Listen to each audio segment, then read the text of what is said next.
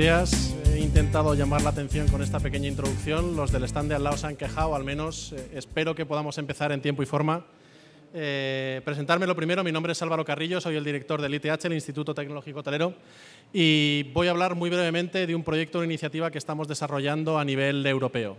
A continuación tendremos el taller eh, de e-commerce y distribución con Aloha Pro y veremos, yo creo que aplicaciones reales que a la hora de distribuir nuestro producto hotelero nos hacen mucho, mucho bien.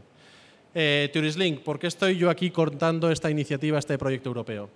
Eh, hace ya unos cuantos años, eh, yo creo que cuando empezamos con Fiturtech en el año 2006, 2007, hace ya siete años que parece pronto, eh, el tema de la distribución online era algo que se empezaba a complicar. A día de hoy no voy a entrar al detalle de dónde está nuestro cliente y dónde estamos nosotros, pero en fin, hay muchísimos actores. Ahora acabo de hablar con TripAdvisor, están los comparadores, los sitios de opinión, los distintos canales.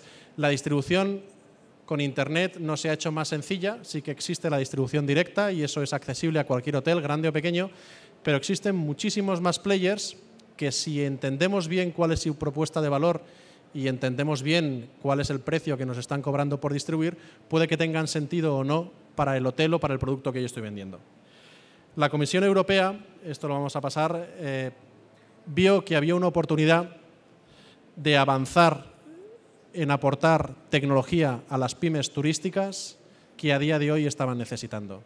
Han desarrollado proyectos en el sector de la automoción, en el sector de la moda, en el sector de la alimentación. Entonces vieron que había muchas pymes del sector turístico, ojo, pymes hoteleras de oferta complementaria, pero también pymes agencias de viajes, distribuidores pequeñitos o minoristas, que se estaban quedando fuera de la revolución de Internet y de e-commerce. Entonces sacaron y financiaron un proyecto a la Asociación Europea de Hoteles y a la Asociación Europea de Agencias de Viajes, que son los dos grandes representantes del proyecto, para aportar tecnología básica tanto a los hoteles y a la oferta complementaria como a las agencias de viajes minoristas que no tienen acceso a día de hoy a esta tecnología. Las grandes cadenas y los grandes turoperadores conocen muy bien la tecnología, apuestan por ella o no en función de su estrategia y sus recursos, pero eran las pymes hoteleras, los hoteles independientes, los restaurantes, eh, la oferta complementaria, los tickets, los teatros, los que se están quedando fuera de esta revolución.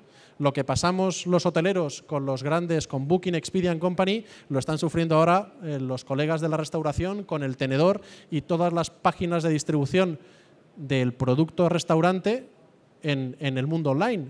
Y lo están viviendo ahora. Nosotros lo vimos hace cinco años.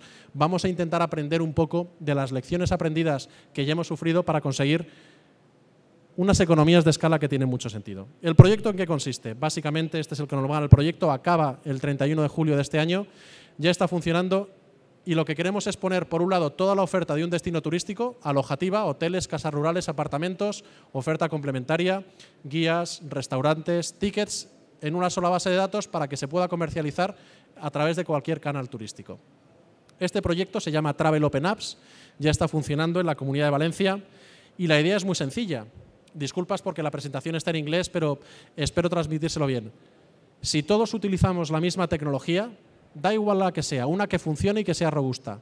Si pagamos a escote, será mucho más sencillo y mucho más barato que si cada uno utiliza su propia tecnología incompatible y no operable con la de al lado. Entonces, y este es el kit del proyecto, pongámonos de acuerdo en utilizar la misma tecnología. No es un proyecto tecnológico, es un proyecto de que los hoteleros de España, los hoteleros de Croacia, los hoteleros de la República Francesa estén de acuerdo en utilizar la misma tecnología.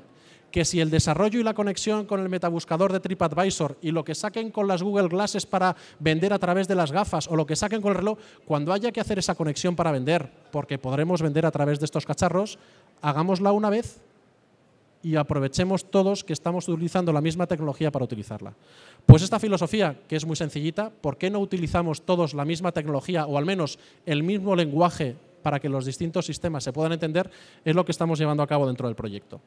La comunidad valenciana ya está embarcada en el proyecto Travel Open Apps, que es el origen de esta iniciativa. Ya está conectada con los principales turoperadores, con Expedia, con Booking, con Venere, con Atrápalo. Ahora le hemos conectado con los sistemas minoristas de la República Checa, Finlandia y Croacia.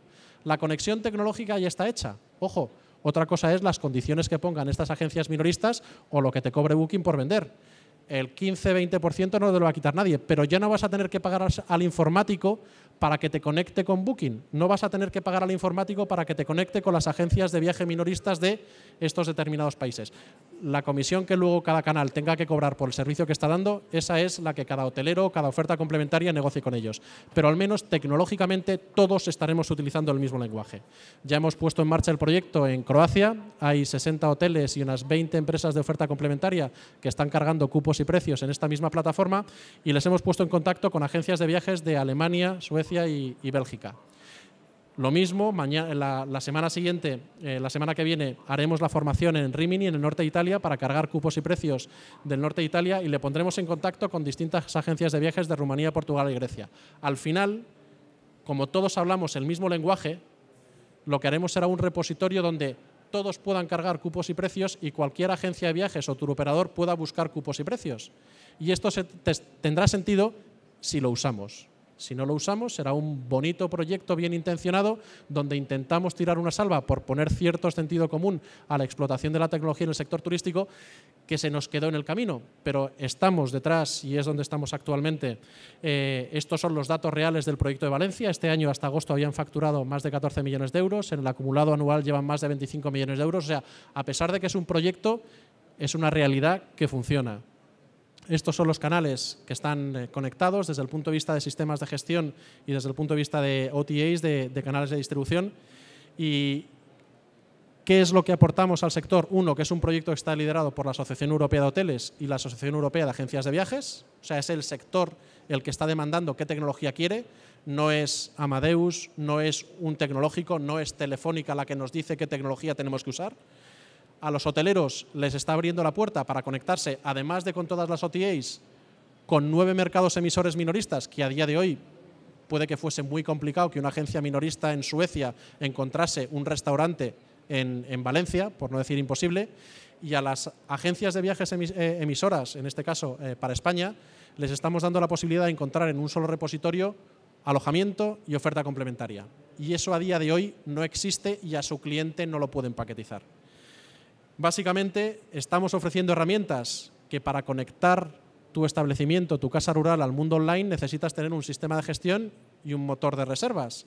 Y si tienes varios canales de distribución, un channel manager. Y aparte de todo esto, la comisión que te cobren.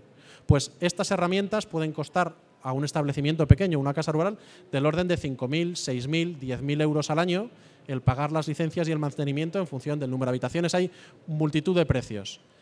Gracias al proyecto, cuando el proyecto acabe a finales de julio de este año, vamos a poder poner en marcha este proyecto y todavía no está cerrada cuáles serán las condiciones, pero por 1.000 euros al año o por una comisión de un 1% se podrá tener acceso a toda esta tecnología.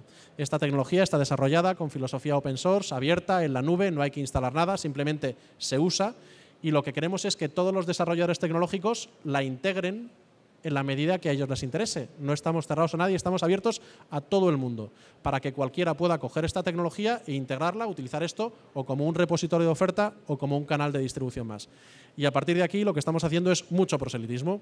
Estamos hablando eh, con casi todos los gobiernos de Europa, desde la Comisión nos han dado mandato para intentar implantar, si no la tecnología, al menos el lenguaje en todas las iniciativas públicas que se están desarrollando con dinero público en Europa, estamos hablando con Francia, con Grecia, con países bálticos, si ellos van a desarrollar un motor de reservas francés para, oye, perfecto, que lo haga una compañía francesa, pero el lenguaje, el lenguaje que utilicen que sea este, de tal manera que si tenemos que hacer conexiones con sistemas de gestión franceses, que ellos hagan esa labor, porque nosotros ya tenemos hecha labor en, al menos a día de hoy, en España, en Croacia y en Italia. Y aquí es donde estamos. Espero que a finales de julio podamos darles más noticias sobre nuevas o nuevos países que se hayan incorporado al proyecto. Les invito a que pregunten a sus asociaciones locales hoteleras sobre la posible involucración, porque en España estamos hablando con eh, Costa del Sol, con Andalucía, con Galicia, con Canarias, para ver si tienen intención de poner en marcha iniciativas en este ámbito y lo que esperamos es tener más noticias y que Fitur, el año que viene en FiturTech, podamos dar noticias de cuáles han sido los países que se han incorporado, porque la filosofía es sencilla. Si nos ponemos de acuerdo en utilizar la misma tecnología, da igual la que usemos, esa será la buena. Pues eso es todo, muchas gracias y ahora ya dejo a los que saben, vamos a tener un taller de e-commerce y distribución con Aloha Pro y Zenit Hoteles, así que como dicen los ingleses, the floor is yours, todo vuestro. Muchas gracias.